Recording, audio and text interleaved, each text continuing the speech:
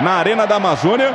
Fica difícil para qualquer conversa ali entre os defensores do Aldax. Arrascaeta, levantamento fechado, desvio!